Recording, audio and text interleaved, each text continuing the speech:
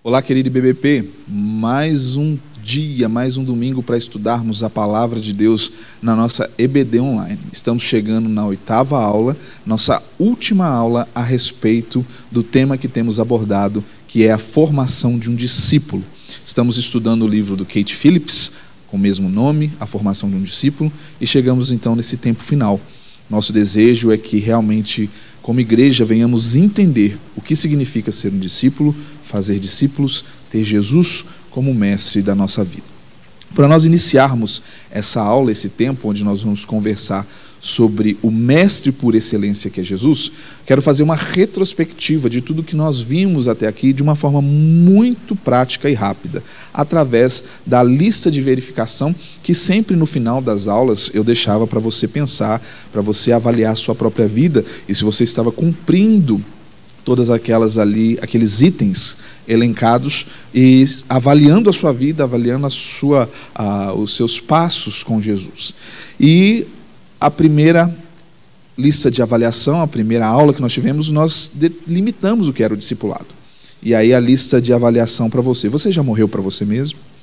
Você realmente vive uma vida com Cristo, de imitação de Jesus, aos pés de Jesus? uma vida onde a sua agenda é a agenda de Jesus, né? você está reproduzindo em outras pessoas essa plenitude de vida que você tem em Cristo Jesus. Como discípulo de Jesus, você está reproduzindo em outros também, chamando outros a se parecer mais com Jesus, ajudando outros a crescer. A segunda lista de verificação: como saber se você é um discípulo? Né? Seu caráter é semelhante ao de Cristo, você evidencia isso na sua vida, seus atos, suas atitudes, sua fala, tudo aquilo que você faz, ecoa para o mundo, mostra para o mundo, é um testemunho para o mundo que você é um discípulo de Jesus. O seu caráter, ah, quando você avalia a sua vida, é mais importante do que as suas capacidades ou habilidades, nós falamos sobre isso. Né? Às vezes nós ah, treinamos tanto as nossas habilidades, aquilo que temos como talentos, mas aquilo que somos em Cristo Jesus é deixado, é negligenciado em segundo plano. Você tem, então, ah, esse entendimento que o seu caráter, quem você é em Cristo, a sua vida com Jesus é mais importante do que você ah, aplicar os seus esforços em ter coisas e ser ah, alguém através do seu próprio esforço e do seu talento. A terceira lista de verificação a respeito da submissão a Jesus. Né? Ah, você tem uma atitude interior de confiança em Deus soberano, amoroso e onisciente.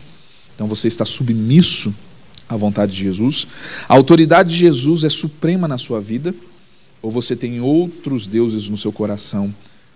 Ah, o seu emprego, seu status, seu carro, seu dinheiro, suas ambições, seus planos, seus sonhos. Às vezes isso está muito além, muito mais alto ah, no trono do seu coração do que o próprio Cristo. Né? Outros deuses, falsos deuses na sua própria vida. Ah, quando você é, tem está submetido à autoridade de Jesus, você pode também exercer autoridade na vida de outras pessoas como você se submete a vida, sua vida a Jesus, você entende que outras pessoas podem submeter a vida delas a você, porque você é um exemplo vivo e genuíno de transformação em Cristo Jesus. Ah, você exerce ah, essa vida cristã, essa autoridade dada por Jesus, porque Ele mesmo disse, né, ah, a, a, minha autoridade eu dou a vocês para que vocês vão e façam discípulos. Essa autoridade ah, você exerce servindo, ou você tem um, um coração ah, obstinado, egoísta e quer apenas aparecer, quer, não, quer, não tem esse coração de servo, mas quer apenas mostrar-se, né, ah, executar esse ministério apenas para aparecer. É uma coisa que nós precisamos avaliar. Então, está nessa área da submissão, a terceira lista que nós trouxemos para a avaliação. A quarta lista, amar uns aos outros. O seu amor a outros cristãos é visível, as pessoas percebem que você tem uma relação realmente com os outros, com as pessoas, com a igreja de Jesus, de entrega, de serviço. Realmente você ama aqueles que estão chegando, quer realmente, deseja realmente investir na vida dos outros. Onde está o seu investimento? É na vida? Você investe em vidas ou você investe em coisas, em instituições? Ah, você entendeu o perdão de Cristo pelo seu passado, presente e futuro, está totalmente entregue a Cristo entende o amor de Jesus na cruz e que, o que isso libera na sua vida. as amarras do passado, a vida presente livre em Cristo Jesus e um futuro excelente em Jesus Cristo também pelo seu amor. Você perdoou-se a si mesmo baseando no perdão de Deus. Não tem nada que te traz a, a é, você não está preso a nada do seu passado. Você entendeu que em Cristo Jesus você é livre. Você perdoa prontamente as pessoas. Você aceita perdão das pessoas. É, e você participa de uma comunidade de Jesus saudável, porque o perdão é vivenciado em todas as esferas, os vetores do perdão estão em todas as direções. Você se perdoando, entendendo o perdão de Deus para a sua vida, você perdoando as pessoas, você recebendo perdão também, e essa comunidade de Jesus, que é uma comunidade viva, e que às vezes, como os porcos espinhos, né, é, chegam-se e vão se juntando e às vezes se machucam uns aos outros, mas nós, como comunidade de Jesus, quando isso acontece, sabemos que o perdão é ali a, o bálsamo que vem para nos libertar de qualquer tipo de constrangimento que a falta do perdão pode trazer. Então, uma lista de avaliação também para você, e foi a quarta lista. A quinta lista, quando você entende o ministério do discipulado, a ordem dada por Jesus para discipularmos, como você é, averigua a possibilidade de discipular uma pessoa? Né? Você demonstra para essa pessoa que o discipulado é algo que exige um alto padrão nosso? Né? Você deseja conhecer ah, intimamente a Deus e também passar esse desejo para o seu discípulo? Você está disponível para discipular? A pessoa que está sendo discipulada também está disponível para ser discipulada. Há no coração dela um desejo profundo de ser discipulado.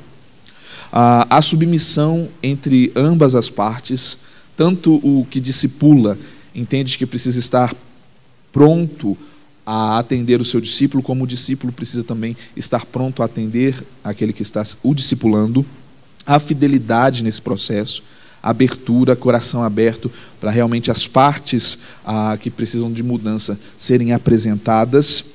A oração com persistência na jornada, porque a jornada é difícil. Então, estão ambos orando ao Senhor, pedindo ao Senhor que realmente esteja capacitando as partes para que esse discipulado seja, seja realmente efetivo. Há uma escolha com cuidado em observar quem realmente quer ser discipulado às vezes as pessoas falam assim, ah, eu quero ser, mas não há uma entrega verdadeira, não há uma abertura na agenda verdadeira, outras coisas aparecem e a agenda logo ali é cancelada, e aí então não está tendo ali a, uma escolha com cuidado, porque talvez essa pessoa não quer realmente ser discipulada, e às vezes até o próprio discipulador, que também não tem um entendimento de cuidado para com quem está discipulando. E a iniciativa que é necessária de ambas as partes para que o discipulado aconteça. Isso está ocorrendo? Há isso na sua vida? Outra lista de avaliação, a escolha de um discípulo. Fazer o convite, explicar o que significa o relacionamento, comunicar a visão, o que é discipulado. Você está realmente interessado nisso? Em saber a profundidade do que significa o discipulado e de executar isso de forma excelente? E também trazer a responsabilidade para quem se coloca à disposição para ser discipulado. Né? Às vezes, ah, nós corremos o risco de não trazer as responsabilidades para as pessoas. Então, ele vai dizer: deixe que ele decida. Ele precisa decidir e entender que, a partir de um processo decisório, para que seja discipulado, ele precisa de compromisso total. O seu relacionamento com o seu discípulo é caracterizado pelo calor humano, nessa né, atitude amorosa, bondosa de entrega, a lealdade, compromisso coerente, a imparcialidade, atitude não tendenciosa na escolha do discípulo, um coração aberto para aqueles que Deus enviar para que você cuide, e a maturidade sendo gerada nesse relacionamento, nessa relação, um andar constante e fiel com Deus, isso também é um ponto muito importante para avaliação no processo de discipulado. Seu relacionamento com o seu discípulo é caracterizado por disponibilidade, máximo acesso, você está acessível ao seu discípulo, paciência, que é a fé em ação, é preciso ser paciente com os novos, com os novos na fé, que estão aí chegando e aprendendo e que vão cair, vão falhar e que precisam ser abraçados, precisam ser comunicados do perdão de Deus e da nova oportunidade sempre que o Senhor nos dá. A sinceridade, a motivação, direção certa, estamos caminhando na direção que Jesus nos mandou. Há isso no seu relacionamento discipulador? isso está acontecendo no seu relacionamento com o seu discípulo, há aí realmente uma motivação certa, um caminhar certo, e o padrão do discípulo. A excelência nesse processo, há, nesse processo há um padrão que o próprio Paulo trouxe para o seu discípulo Timóteo, nas palavras, na conduta, no amor, na fé, na pureza. Está, tendo, está havendo aprofundamento nesse processo, está havendo realmente um entregar-se profundo nesse processo, onde as palavras são transformadas, a conduta é revista, o amor é realmente pertinente, a fé é visível e a pureza é buscada. Tudo isso ah, dentro do relacionamento do discípulo com seu discipulador, um relacionamento ordenado por Jesus, que nos mandou fazer discípulos. Ele não nos deu a opção, ele nos deu uma ordem: vão e façam discípulos. Muito bem, ah, o autor, o Kate Phillips, ele vai dizer que quando ele iniciou a sua jornada ah, para entrar no mundo dos negócios e ele começou a decidir trabalhar e ganhar seu próprio dinheiro, ah, ele foi trabalhar como vendedor de assinaturas de jornal. E aí o seu chefe disse para ele: Olha, não importa o que você tem que fazer, não importa como você vai conseguir as assinaturas para o nosso jornal, apenas consigas. E esse conceito não se aplica ao discipulado. Nós não vamos fazer de tudo nós não vamos fazer qualquer coisa para conseguir discípulos. O nosso discipulado precisa ter qualidade. O nosso discipulado, discipulado precisa ser profundo. O que nós fazemos no relacionamento discipulador, o que nós executamos na vida um do outro, precisa ser profundo, marcado por qualidade. Um discípulo realmente sendo formado através do conhecimento da palavra profundo. Uma transformação genuína. Porque senão nós vamos ver discípulos defeituosos, discípulos inacabados, discípulos inapropriados, vivendo uma vida que não é uma vida realmente conduzida pelo Espírito Santo do Senhor. E aí ele vai dizer que a economia de Deus é diferente. Ele está interessado, como Jesus, que ali durante três anos investiu na vida de 12 pessoas, que também nós venhamos a investir tempo, investir nossa vida na vida de outros, para que crentes maduros e com qualidade surjam, amadureçam, que sejam formados no seu coração as convicções da palavra de forma profunda, que crie raízes né, de um discípulo radical. Um livro muito bom, até que eu indico para os irmãos, do John Stott. Um discípulo realmente que tem raízes profundas, aprofundadas no Senhor Jesus. No discipulado, o método é a mensagem, aquilo que nós plantamos no coração do nosso discípulo, daqueles que estão chegando. Ah, ele vai dizer também que todas as semanas Milhares de crianças chegam lá no, no projeto que ele tem para estudarem a Bíblia, para ouvirem as histórias, e ele vai dizer que mais do que apenas ouvir, observando os seus professores, aquelas crianças, entendem que no amor e no cuidado uns aos outros, eles podem realmente conhecer o que é um discípulo verdadeiro do Senhor Jesus. Muito bem, e aí ele vai caminhar para o final ah, do capítulo e vai começar a nos dizer a respeito de ser como Jesus é. Nós, como discípulos, precisamos ser como Jesus é. E aí ele vai falar sobre os filhos que tentam imitar os pais. Né? Nós já vimos isso, vimos, vemos isso no dia a dia, vemos nas propagandas, nas histórias, né? Os meninos que querem ser como os pais e colocam o, o, creme de barbear, mesmo sem ter barba, e tentam fazer a barba imitando o pai. As meninas né, que colocam os sapatos das mães, as bijuterias, todas as, as roupas e tentam imitar as mães. Isso é um desejo da própria criança que vê no adulto, vê no seu pai, vê na sua mãe um modelo para si. Então eles observam como os pais vivem, como os adultos que estão ao seu redor vivem e querem reproduzir isso né? Quando eu crescer, eu quero ser igual ao meu pai. Quando eu crescer, eu quero ser igual à minha mãe. Eu quero dirigir o carro como meu pai. Eu quero fazer as coisas como a minha mãe. Eu quero ter as mesmas atitudes, porque eu estou observando e aquelas atitudes me cativam. Eu olho para os adultos que estão ao meu redor como criança e percebo como eles vivem e eu quero viver como eles também. Assim também é o discípulo. Quando ele olha para o seu discipulador, quando ele olha para aquele crente maduro, ele fala: Eu quero ser como esse também. E na minha vida, quantas e quantas pessoas marcaram a minha história? Crentes fiéis ao Senhor, que eu observava, que eu aprendi. Homens e mulheres que na minha adolescência, na minha infância, marcaram a minha vida com o ensino da palavra, com o testemunho que tinham, com tudo aquilo que reproduziram na minha vida. E assim é o processo do discipulado. O seu discípulo, a pessoa que você está conduzindo a Jesus, que você está ensinando, vai olhar para você e vai perceber: eu quero ser também como ele é. E aí a gente vai ver as crianças dizerem, né? Quando eu ficar grande, eu quero ser como você. Pais, ensinem seus filhos a ser como Jesus. Aprendemos a falar imitando nossos pais e outras crianças na escola. Formamos preferências pessoais quanto ao vestuário, recreação, música, divertimentos. Copiamos os gostos de nossa família e de nossos semelhantes. Aqueles que estão em formação estão buscando referências para si. Fazer discípulos é um processo que começa com ser modelo. O caráter é transmitido e não ensinado. É por isso que os discípulos de Cristo abandonaram suas profissões para estar com Ele. Quando Jesus convidou os seus discípulos, quando ele disse: Venham que eu vou fazer eles pescadores de homens, aqueles homens deixaram tudo, porque a partir daquele momento eles teriam como modelo Jesus. E tudo que Jesus fizesse, eles também fariam.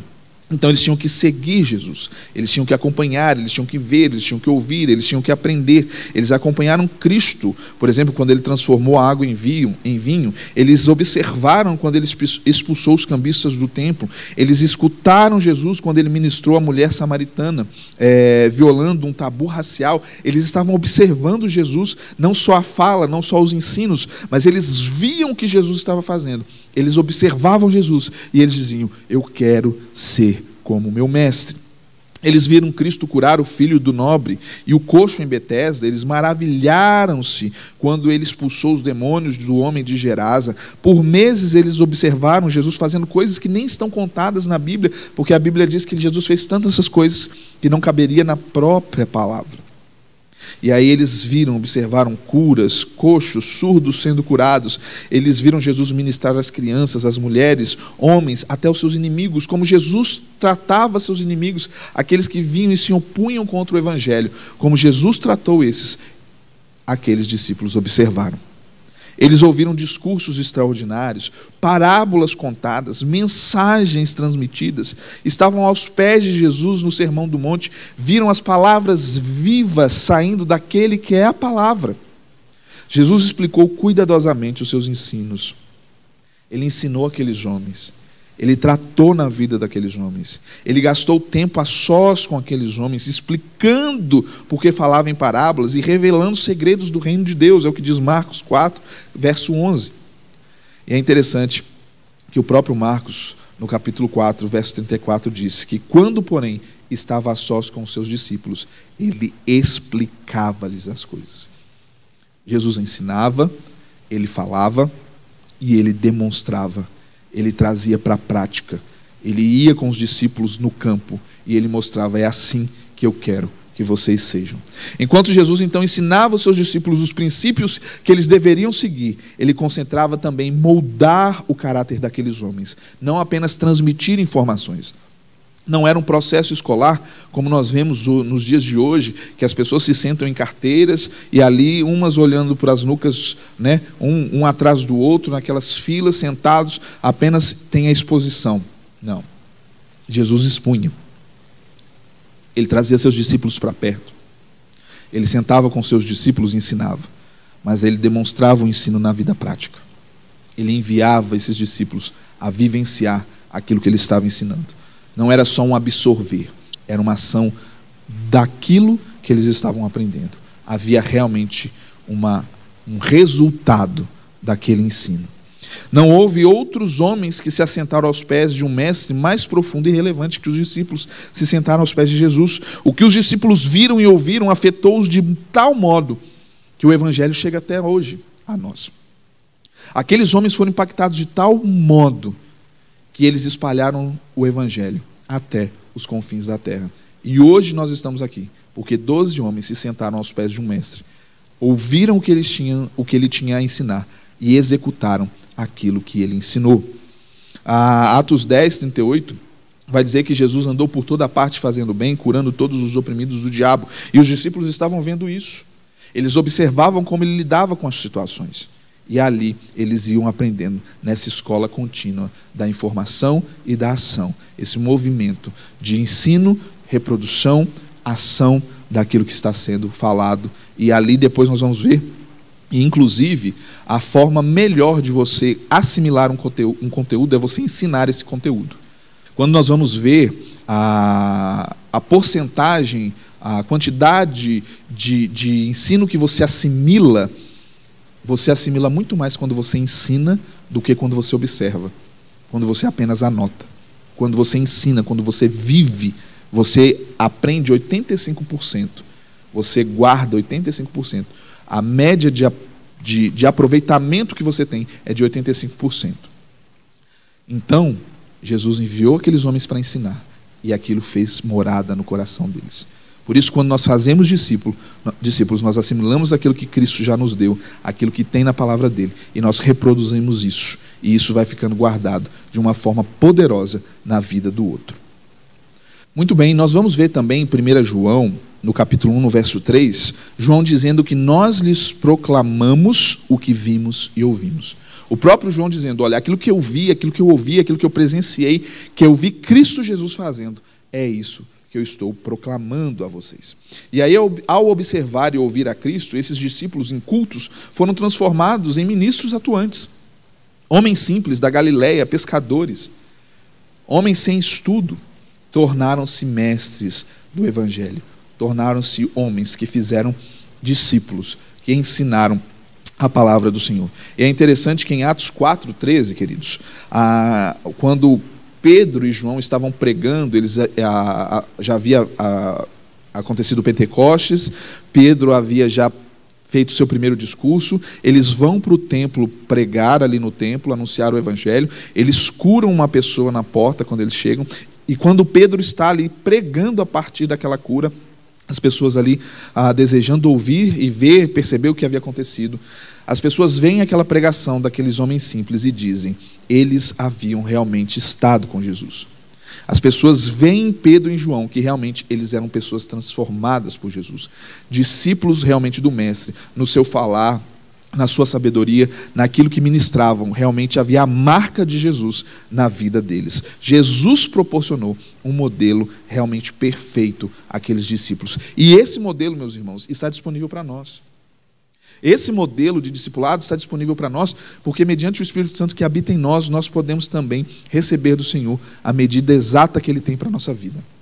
Para crescermos, para amadurecermos, para fazermos discípulos, para sermos discípulos. E a igreja de Jesus precisa ser, precisa entender profundamente o que isso significa. Ao terminarmos hoje essas oito aulas, nós precisamos sair daqui, você que acompanhou todas essas aulas, entendido que não é só assimilar esses conteúdos, não é só absorver esses conteúdos, não é só ouvir o que nós falamos aqui durante essas oito aulas, mas é preciso sair, é preciso ir, é preciso fazer discípulos, é preciso comunicar o Evangelho, é preciso ajudar as pessoas a crescer.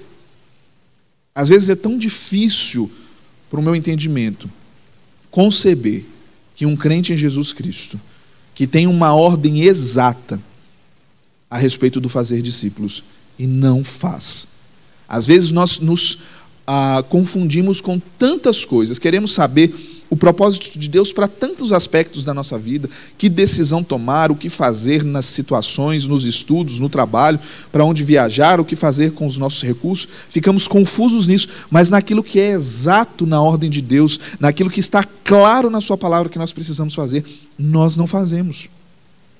Buscamos respostas, respostas, mas naquilo que nós já temos a resposta, exata na palavra. Vão e façam discípulos, ensinem, batizem, até que eu venha em nome do Pai, do Filho e do Espírito Santo. Isso é exato, já está dito. Jesus já nos comunicou de forma exata. Façam discípulos, é isso que vocês precisam fazer. Às vezes nós nos acomodamos e não fazemos. E não fazemos, queridos, porque dá trabalho. Caminhar com alguém dá trabalho. Porque nós sabemos que nós demos trabalho foi difícil a nossa própria jornada de maturidade para com Deus. Por isso nós às vezes nos limitamos e não queremos caminhar contra as pessoas. Mas é preciso caminhar com aqueles que estão chegando. É uma ordem dada por Jesus e nós precisamos obedecer ao nosso mestre, fazer como ele fez, fazer discípulos. Gastamos tempo com tantas coisas, fazemos tantas coisas, Tantas coisas, inclusive, que às vezes nem o próprio Jesus nos pediu a fazer. Mas não dedicamos tempo a fazer discípulos do Senhor Jesus. Ah, aqueles discípulos ali, então, ah, não apenas conheciam a Cristo, mas se tornaram como Jesus. E quando nós conhecemos a Jesus, nós nos tornamos como Ele e vamos fazer o que Ele fez. E Ele fez discípulos. É a lei da natureza, reproduzirmos conformes a nossa espécie, colher aquilo que semeamos. Se nós somos discípulos, nós vamos colher discípulos, porque a semeadura da nossa vida vai apontar para aquilo que nós somos. Agora, se nós somos crentes estéreis, que não reproduzem filhos, a nossa vida vai apontar para isso e nós vamos colher um cesto vazio de vidas. E aí nós vamos ver que João 15 diz claramente que nós alegramos o Senhor quando nós damos muito fruto, quando o nosso cesto está cheio de fruto fruto para a vida eterna. E esse fruto é amar uns aos outros, cuidar uns dos outros, trazer a maturidade para o coração daqueles que estão chegando. Né? Um fazendeiro, ele vai dizer, o Kate Phillips do livro, que um fazendeiro que planta batatas não espera colher pepinos. E Jesus disse né, que toda árvore é reconhecida por seus frutos. Ninguém colhe figos de espinheiros, nem uvas de ervas daninhas. O coração do crente que quer alegrar Jesus e cumprir o ID, ele vai ser um crente que é, vai, onde nós vamos ver de forma ah, muito preponderante os seus frutos de vida. Pessoas que estão sendo ali abençoadas pela vida desse que decidiu ser obediente a Jesus. Só o discípulo que morreu para si mesmo pode fazer discípulos e reproduzir na vida do outro a marca de Jesus no seu coração. Nós reproduzimos segundo a nossa espécie, o bem ou o mal. Vamos reproduzir vidas ou vamos deixar vidas morrerem sem Jesus? Se o cristão carnal treina outra pessoa, a carnalidade será o fruto do seu relacionamento. Se não é que nós podemos chamar, né? Ele diz aqui de um cristão carnal, talvez um pseudo cristão carnal, né? Se nós temos em nossa vida a vida de Jesus, nós vamos reproduzir isso em outros. Mas se o que comanda o nosso coração são as coisas desse mundo, os poderes desse mundo, nós vamos reproduzir isso também naqueles que estão ao nosso redor. Ah, Lucas vai dizer no capítulo 6, no verso 40, o discípulo não está acima do seu mestre, mas todo aquele que for bem preparado vai ser como o seu mestre. Nós devemos ser como o mestre Jesus. E aí o Kate Phillips ele vai contar uma história a respeito do seu ministério, onde ah, ele deixou de confrontar, ele achava que não era necessário confrontar os seus liderados a respeito do ministério, de como eles faziam as coisas. Ah, ele falava, ele ele fala na narrativa, ah, eu não vou confrontá-los a respeito da excelência, eu, deixa eles entenderem que eles precisam fazer isso. E aí ele começou a perceber que os próprios discípulos também não estavam comprometidos com excelência e em passar isso para os outros. E ele percebeu que ele precisava cobrar excelência em tudo aquilo que era feito no ministério, para que os outros, os seus discípulos, também cobrassem dos seus discípulos a excelência, porque isso era um processo de geração em geração, de coração para coração. Quando nós não cobramos a excelência daquilo que Deus nos ordena fazer, isso também não vai ser cobrado dos outros. Então isso precisa partir do nosso coração. A excelência no que Jesus nos manda fazer. E a excelência está em obedecer. E obedecer a sua ordem de fazer discípulos. Foi a última palavra dada, a última ordem dada aos discípulos. Vão e façam discípulos. E é isso que aconteceu em Atos um movimento de formação de discípulos. E é isso que nós vamos ver nas cartas um movimento de formação de discípulos, e isso chega até nós. E os discípulos formados estarão aos pés de Jesus, quando nós vemos em Apocalipse uma multidão daqueles que clamam ao Senhor: Maranata, vem Senhor Jesus, aos pés de Cristo, discípulos formados. É isso que nós vamos entregar no último dia ao Senhor Jesus: discípulos dele, frutos para a eternidade. Muito bem, queridos. Ah, uma vez então que somente Deus pode produzir o caráter do verdadeiro discípulo no nosso coração, é muito mais fácil o seu discípulo tornar-se algo que ele pode ver do que algo que ele apenas ouviu dizer ou leu sobre.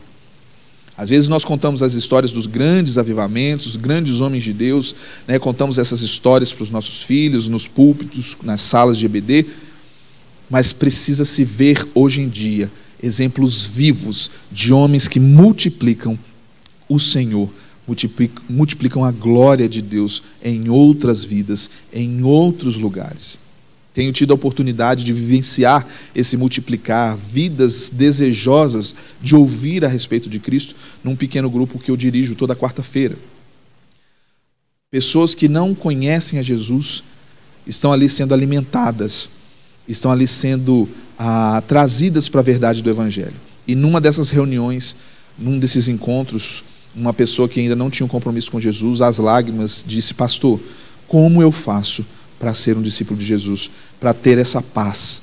E ali eu pude pregar mais para ele, continuar falando com ele, e ele entregou sua vida e hoje está nesse caminho, sendo discipulado, entendendo as verdades bíblicas. E Deus tem transformado o seu coração. Irmãos, isso é tão grandioso, isso é tão maravilhoso ver a operosidade do poder do Evangelho na vida das pessoas. Isso traz para nós algo tremendo. Eu costumo dizer ah, que ah, para nós que ensinamos, me a melhor classe é a classe de novos convertidos, porque ali nós vamos vendo o desenrolar do desejo de Jesus para a vida das pessoas, dos novos que estão chegando, a fome que eles têm e como eles querem espalhar as boas novas que eles têm no coração. Isso é tão tremendo. Mas infelizmente depois a gente vai ver que muitos vão perdendo esse primeiro amor, né? muitos vão esfriando, as, né, como Jesus diz na parábola né, do, do, semeador, os espinhos vão sufocando aquelas sementes ali que foram ah, jogadas e plantadas, e as pessoas vão se distanciando da vontade de Deus. Mas nós precisamos continuar firmes, firmes no propósito de ser como Jesus e fazer discípulos. Investimento, vida na vida.